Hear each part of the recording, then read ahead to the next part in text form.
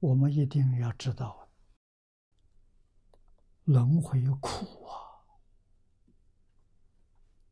啊！啊，真正知道我们活在这个人间，不是享福，是来受苦啊，是来受折磨、受难的啊！你的心才发得起来啊！如果一切，都称心如意，念佛往生呢，自然就难了。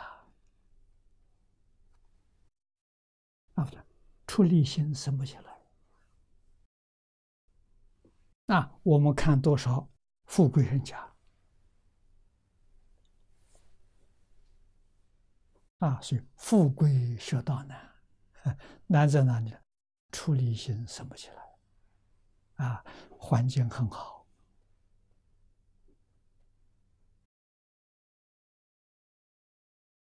所以学佛，佛在入般涅盘的时候，最后一言教导我们：一切为师，以苦为师。人生活在苦难当中。常常有出离心